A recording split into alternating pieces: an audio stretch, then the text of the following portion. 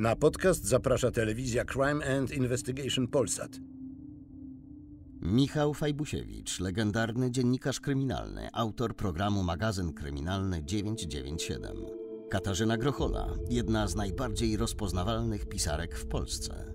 Porozmawiają dzisiaj o sprawie, która dotyczy wielu rodzin, o trwającej latami przemocy i jej tragicznych konsekwencjach. Muszę ci powiedzieć, droga Katarzyno, że jak dostałem listę postaci, pisarzy, którzy się zajmują kryminałami, którzy będą występować w czwartej serii, a ja mam związek z, z, z tą serią, opowiem ci o zbrodni od, od, od początku. To się To, zdziwiłeś. to się zdziwiłem, tak, to się zdziwiłem. Mówię, Czy napisałeś jakiś kryminał? Bo ja nie słyszałem, ponieważ wszyscy o tym wiedzą, że ponieważ całe życie się zajmuję kryminałami, w związku z tym nie czytam e, książek o tematyce kryminalnej, to mówię, może coś pominąłem. Okazuje się, że nie. Nie, nie, ale napisałam społeczną książkę o nadużyciach seksualnych, ale społeczną bardziej, reklamowaną jako kryminał i napisałam książkę o przemocy domowej. Dobrą i nagrodzoną, że się pochwalę. A zgodziłam się tylko dlatego wystąpić, bo powiem ci o zbrodni, że bo bardzo poprosiłam o, jeśli się zdarzy, jakaś kobieta, która już nie może wytrzymać i niestety sięga dna, no bo jednak zabójstwo jest sięgnięciem dna, e, nawet w, w obronie własnej dzieci. I jeśli nie będzie gniła za to w więzieniu, to ja chętnie o tym powiem. To jest e, e, twój, twój jakby debiut tutaj, a, co nie jest do końca prawdą, bo ty e, z naszą stacją, przepraszam, że tak mówię, ale, ale się identyfikuję z Crime Investigation. e, Masz już związki i coś poczułaś e, ten smak telewizji i kamera ci się spodobała? Nie, bo ja w ogóle nie wierzę w kamery. Aha, nie To wierzę. znaczy to wszystko, co robimy, to co jest nieprawdziwe, lek, lekko trochę fałszywe i, Nie, nie, nie, nie, namawialiśmy się przed tą rozmową? Nie namawialiśmy się, rozmawialiśmy o różnych ważnych rzeczach, natomiast nie boję się kamery. W związku z tym, ponieważ nie wierzę w przekaz obrazu. W związku z tym y, mój mąż to nazywa pewnego rodzaju bezczelnością. Czyli wierzysz w Ja to? nazywam to odwagą. W to tylko, co, co tu leży, to znaczy wpisane słowo, że to jest tylko Wiesz, no prawda na początku, utrwalona? na początku było słowo jednak. Tak, ale, no, ale słowo, no jak dobrze wiesz, ja tak będę mówił no, prostackim językiem i tym się Bardzo różni proszę. od telewizji, że tu są różne wyobrażenia i często mogą być fałszywe, a obraz jednak pokazuje coś e, bardzo często, co jest tu, i teraz. Oczywiście obraz można go Wiesz, zmanipulować. obraz pokazuje obrazek, ale to, co idzie za tym obrazem i dlaczego ktoś się zachowuje tak, a nie inaczej. I y, co ja mogę powiedzieć, patrząc na ciebie? Nie wiem nic o tobie, prawda? Znaczy, teraz to już trochę wiem, bo rozmawialiśmy, ale obraz daje nam tylko taką wiadomość dla mózgu, no ma czarne włosy, albo ma siwe włosy, albo ma ładne oczy, albo brzydkie oczy, albo wysoki, gruby, chudy. A cała reszta jest poza obrazem i również poza słowem pisanym. Zapoznałem się e, z tym, co przygotowywałaś e, na antenę wspólnie z twórcami tego programu i doszedłem do wniosku, że to właściwie nie jest żaden kryminał. No ja całe życie, e, ponad 40 lat zajmuję się kryminałami i to jest, obcesowo to nazwę, tak jak to nazywają policjanci, zbrodnia kuchenna, który, który, która dominuje w statystykach mm, zdarzeń kryminalnych, mówię tu o zabójstwach w Polsce i myślę, że nie, nie tylko w Polsce. Oczywiście, że ona ma drugie dno. Ona jest niezwykła z paru e, Ona, to powodów. jest zbrodnia kuchenna, ale to jest również jakiś proces patologii, która się odbywa na naszych oczach, na którą nie reagujemy. Ja tego nie neguję i dlatego, dlatego tym bardziej uważam, że on jakby nie mieści się, Nie mieści się, w, w, tak, w nie ramach się w takiego ramach. klasycznego kryminału, no, bo tutaj nie ma żadnych zagadek. Tu są raczej e, potworne zaniedbania, no coś, co nie powinno się w ogóle wydarzyć. I my jesteśmy tego świadkami, niektórzy nie, nie, niemymi, a inni naocznymi, ale przede wszystkim to pokazuje pewną sferę rozkładu naszego państwa. Używam wielkich słów, ale tu doszło Ale do niepotrzebnej prawdziwych. śmierci, a poza tym no, katowania kobiety, rodziny przez dwadzieścia kilka lat. No ale to katowanie jest troszkę wpisane w y, wychowanie społeczne. Zauważ katowanie kobiet. To No znaczy tak, no ja wiem, to są kulturo, kulturowe, trochę kulturowe religijne zaszłości, rzeczy. również niestety religijne, bo y, ty masz swój krzyż, który masz nieść i masz pozwalać sobie pozwolić na upokarzanie drugiego człowieka. Bo przecież jeśli ja jestem twoją bitą żoną i pozwalam ci na to, to upokarzam nie tylko siebie, ale ciebie również. Nie mówiąc stop. Więc wiesz, to, to jest taka sprawa, która dla mnie nie jest sprawą kryminalną, tylko jest sprawą głęboką, społeczną, psychologiczną i sprawą do załatwienia. I jak powiedziałeś, y, no niestety świadczącą o rozkładzie państwa. Bo jeżeli ktoś zwraca się o pomoc i przecież nie do przyjaciółki, która jest bita, prawda, i nie do psa, który siedzi w budzie, żeby ją obronił, nie do swoich rodziców, tylko do organów, które są za to odpowiedzialne, do policji. I się drzwi przed nim zatrzaskuje, a prawdopodobnie sąsiadki mówią, zostaw, wiesz, trzeba No przetrwać, tak, ale to, zmieni się. wiesz, to jest wyobrażalne, jakby to trwało parę miesięcy, no, rok, ale to trwa. Nie, to jest wyobrażalne wtedy, kiedy trwa lata. Ale ten poranek, czy to przedpołudnie w ogóle nie zapowiadało te, te, te, Robiła rozwoju. przetwory. Niby wszystko było w porządku. No nie wiemy dokładnie, z czym do niej podszedł, albo czy znowu rzucił wyrażenie ty. Tak, on ją posądzał o Prawda. zdrady, to, co, co było paranoją, no. e, Nie wiemy.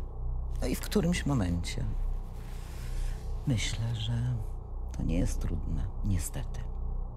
On umiera w szpitalu chyba, tak? Czy, czy, czy w On czasie, jakoś kiedy tak jest prawie- ka- prawie- karetką, ale to tak. już nie ma specjalnego e, znaczenia. E, s- Ale wiesz, ja nie chcę usprawiedliwiać teraz niczego, bo ja uważam, że zbrodnia zawsze jest zbrodnią. Odebranie mnie- życia my drugiemu człowiekowi. Nie staramy się usprawiedliwiać, Natomiast ja ją pokazujemy rozumiem. okoliczności, które ją e, Bo te okoliczności bronią. e, Są tragiczne. Nic nie jest zrobione w tym domu, a ty się szlajasz dupy dajesz. Zamiast się do roboty wziąć. To przez ciebie, szmato, tak żyjemy jak w chlebie. Siadaj gnoju, baby są do sprzątania w tym domu. Tego poranka jadł śniadanie, które jak co dzień przygotowywała mu od prawie 20 lat. I także tego poranka obrzucał ją stekiem wyzwisk. Łajdzo, debilko. Chodź no. Proszę, widzisz? Nawet tata cię Słuchała tych wyzwisk po raz setny, ale już nie miała siły, by to znosić. Kiedy po raz kolejny ją zaatakował, odwróciła się. W ręce trzymała nóż. Ja znam tego rodzaju e, No to jest historie. który- To, to ja wiem, bo to, to narasta.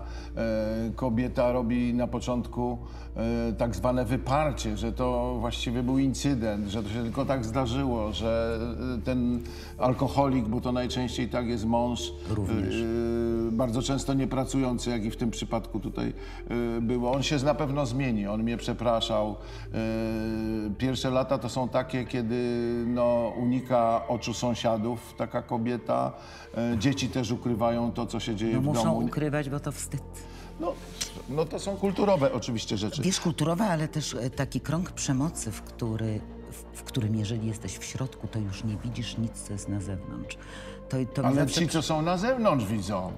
Ale ci, co są na zewnątrz, nie reagują, bo nie będziemy się wtrącać w sprawy rodziny, nie będziemy reagować. Przecież poza tym, jeżeli się wtrącisz, to jeszcze ty dostaniesz po łupie, prawda? Bardzo często taka kobieta staje w obronie swojego męża, żeby ochronić tę iluzję, w której można żyć. Ale to nie, nie oceniam tych kobiet. Tylko wiem, ponieważ byłam taką kobietą przez trzy lata, więc wiem, jak powoli się zamyka i kurczy ten świat. Nie ma już sąsiadów, rodziny, przyjaciół, telefonu, z którego można zadzwonić. Jest tylko ochrona tego kawałeczka, tego, czy postawisz tak wodę, czy ją wylejesz. I próbujemy chociaż. No bo tak się łatwiej Syna. żyje, jak się Nie, udaje. to- nie, nie, nie. tym na zewnątrz mówię, kto, A, jeśli tym- udają, udajemy, że, A udajemy, że nie widzimy, widzimy i że nie związku z wiemy. tym jest, wiesz, przypominamy A małe to przynosi dzieci. kłopot, bo jak się idzie i, i, i składa doniesienia o takich, y, o takich czynach y, w tej No to rodzinie, jest to są tylko kłopot dla Tylko tego, kłopot. kto przychodzi, bo sobie robi wrogów, poza tym ciągają go i tak dalej. Ja tu nie chcę nikogo oczywiście tłumaczyć, natomiast no... y, Znaczy, to, my że nie nie poniosła, wsparcia, bo my obok nie My zaraz wsparcia. wrócimy do sprawy i chciałem, żebyś w kilku zdaniach powiedziała, chociaż tego w kilku zdaniach nie da się opowiedzieć, tego dramatu tylu, tylu lat, ale jak to narastało, że doszło do zbrodni, za którą e, kobieta, która zamordowała męża, nie poniosła kary? Kiedy śledczy dopytują, kto zadał cios ojcu, chłopak wymiguje się od odpowiedzi. Patrzy na matkę, szukając u niej pomocy. W końcu kobieta decyduje się mówić. Katarzyna Skrzeczkowska, prokurator, rzecznik prokuratury Warszawa-Praga. Ona przyznała się do popełnienia tego czynu, y, czyli do pchnięcia nożem męża. Natomiast y, wyjaśniła, że nie było zamiarem jej zabić męża, że chciała go po prostu nastraszyć. Anna zostaje aresztowana. Śledczy muszą przygotować akt oskarżenia. Jeżeli sąd uzna, że działała w afekcie, dostanie od jednego do 10 lat więzienia. Jeśli sąd dopatrzy się znamion przestępstwa, które było zaplanowane, grozi jej dożywocie. Ty ją spotkałaś? Nie, nie spotkałam i, i, i nie mogłam jej spotkać. Ona próbuje odbudowywać życie, nie jest skazana. Być może gdyby siedziała w więzieniu, pojechałabym do niej. Ale myślę, że lepiej zostawić w spokoju kobietę, która przecież żyła z tym facetem. Miała z nim czwórkę dzieci, pracowała na nich, wybaczała mu jakoś walczyła o swoje małżeństwo. Y, Reakcja parę lat wcześniej była taka, że jej mąż się zgłosił na terapię. Wrócił po tej terapii, zresztą od uzależnień, że tak się wyrażę, i był znowu przez następne miesiące dobrym, trzeźwym człowiekiem. Czyli ona też miała punkt zaczepienia. Rozumiesz, bo jeżeli ktoś jest bez przerwy zły, no to No tak, on się nawet, on To się się musimy nawet raz odwrócić. poddał e, karze, on dostał chyba z pół roku Dostał pół roku i- zawieszeniu, ale to wszystko funkcjonowało w tak zwanych papierach, jak to mówi policja czy, y, czy prokuratura. ale w domu było lepiej przez pół roku, również. Ale nie, ja mówię o tym, że to było, te zdarzenia były odnotowane, więc policja, e, mówiąc o następnych latach czy następnych wy, wydarzeniach, nie mogła być taka ślepa, czy też opieka społeczna, bo wiedziała, że tam się coś przedtem złego działo. I kiedy ta kobieta zwracała się o pomoc, to w zasadzie No nikt jej nie pomógł, a nawet nie, nie mieli, co, dla mnie jest w ogóle nieprawdopodobne, tej słynnej, chwalonej niebieskiej, niebieskiej karty, karty. która tak chroni To jest wstrząsające, że przemocą. zobacz, ona nie była bezradną kobietą, która już tylko jest skulona i, I mówi tylko ciosy. nie po głowie. Ona szła na posterunek, który był zamknięty, jechała do następnego miasta. Tam jej mówili, nie ma pani niebieskiej karty, sorry, nie możemy nic zrobić. Jechała do następnej miejscowości, a tam jej mówili, to jest od nas za daleko, proszę pani. Rozumiesz, nikt nie wziął odpowiedzialności, nikt się za nią nie ujął. Nikt z tego posterunku, któregoś z tych licznych posterunków, No i z komendy i powiatowej. z komendy już, nie? powiatowej nie powiedział, proszę pani, pojadę z panią, zobaczymy, co się dzieje. Być może by to wystarczyło. Oprawca przecież nie dlatego bije, że jest silny. On bije dlatego, że jest słaby. On upokarza dlatego, że się czuje upokorzony. Dlatego Oprawcami nie są ludzie wspaniale ugruntowani, którzy czują, że wiesz, ich dłoń może rozwalić świat. To są najczęściej przygnieceni przez życie, nawet jeżeli mają 200 kilo wagi. Biedni, niedorozwinięci gówniarze, którym ktoś kiedyś nie okazał miłości, lub psychopaci, no o tym nie mówimy, bo e, jakby wyłączamy tę stronę. Ja Annę bardzo dobrze rozumiem, natomiast nie rozumiem tego, co w XXI wieku dzieje się w moim państwie. no nie odpowiemy na to pytanie, możemy tylko pokazać, co się dzieje. A dlaczego się tak dzieje, to. Przypominam jesteśmy- również, że syn, na oczach którego ona zabija ojca, staje po jej stronie. Czyli co tam się musiało dziać w tej rodzinie wobec dzieci. No sąd też stanął po jej stronie. To, No, bo ten chwała wyrok, temu który sądowi. zapadł, e, to ewenement, e, przyznam się. Ja nie pamiętam takiego wyroku, e, nawet za działanie w afekcie, czy, czy w, Wiesz, że jak mi powiedziałeś, wzburzeniu. że nie pamiętasz takiego wyroku, to sobie pomyślałam, że to jest następna przerażająca rzecz. Ja byłam kiedyś w więzieniu na spotkaniu autorskim i widziałam morderczynię Po 6-7 lat. po osiem. 6-7 lat, które nie powinny siedzieć w więzieniu. Nie powinny siedzieć w więzieniu. No ktoś, ktoś znalazł wreszcie powody, dla których można i takie wyroki w zawieszeniu, e, w zawieszeniu e, wydawać. Natomiast ten wyrok nie zamyka, no to o tym mówimy, sprawy, no bo on w zasadzie niewiele rozwiązuje. A jak doszło do tego momentu, że ta czara goryczy się przelała? Że nagle Anna sięgnęła po nóż i, i, i zadała cios prosto w serce. To jest taka no, klasyka, powiedziałbym, jeśli chodzi o dokonanie zbrodni. Wiesz co, że mogę sobie wyobrazić, że jestem taką Anną. I że to przecież musiało trwać, prawda? To się nie zdarzyło pierwszy raz. Musiało trwać. Trwało. Wczoraj, przedwczoraj, miesiąc temu. A w którymś momencie się po prostu ma nóż pod ręką. W toku postępowania, z uwagi na okoliczności zdarzenia i charakter czynu, powołano biegłych lekarzy psychiatrów. Biegli lekarze psychiatrzy stwierdzili, że e, działała ona w czasie zdarzenia w, w tak zwanym afekcie, czyli e, pod wpływem silnego wzburzenia usprawiedliwionego okolicznościami. Tego dnia wstałam wcześnie. On jeszcze spał. Od wielu lat nie śpimy wspólnie i ja nie wiem, która była godzina. Chciałam zrobić jakieś przetwory na zimę. Umyłam słoiki, pomidory. Syn jadł śniadanie i on wtedy do niego dołączył. Zaczął mnie wyzywać, ubliżać mi od najgorszych. Syn starał się coś, coś zrobić, coś mu powiedzieć, ale, ale on nic sobie z tego nie robił. I wtedy on się do mnie odwrócił i znowu zaczął mnie wyzywać. Ja, ja nie chciałam, ja tylko raz go uderzyłam nożem. I to, to było delikatne dotknięcie, nie jakieś tam. Ja nie chciałam. To nie miało wejść tak głęboko. Nie chciałam go zabić, chciałam go tylko nastraszyć. Wróćmy może do kuchni telewizyjnej, bo to mnie interesuje. Jak pisarka, e, współpracuje z aktorami na planie, z reżyserem.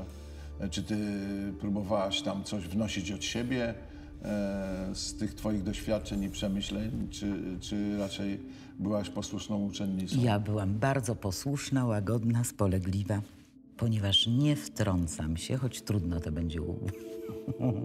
udowodnić. E, ale wiesz, no, wspaniali ludzie na planie. Wspaniała Olga Bołądź, która grała w ciąży e, jeszcze, bo przecież ona była w ciąży, nasza bohaterka, jak dostawała po ryju. E, również. E, a poza tym, no, fantastyczni ludzie. Wiesz, niekoniecznie nie wiemy o co chodzi, tylko dlatego, że jeszcze nikt nam nie sprał porządnie skóry. Bo każdy z nas gdzieś coś widział, gdzieś coś czuł. Każdy z nas ma jakiegoś znajomego, który był albo źle traktowany, albo był sam źle traktowany. Wszystko jedno przez kogo, czy jako dziecko, czy jako dorosły. Myślę, że zobaczyłam tam dużo empatii, oprócz sympatii e, to dużo empatii dla siebie nawzajem, wiesz. Aż nie myślałam, że program o zbrodni może być kręcony w tak miłej i przyjaznej No, atmosferze. że z uśmiechem o tym mówisz. Ale czy po tych doświadczeniach e, przełamiesz się i kiedyś napiszesz kryminał? Napisałam dosyć wstrząsającą książkę o pedofilii i myślę, że chwilowo mi to wystarczy. Ale chwilowo. Wysłuchaliście podcastu na podstawie programu, który możecie oglądać na Crime and Investigation Polsat.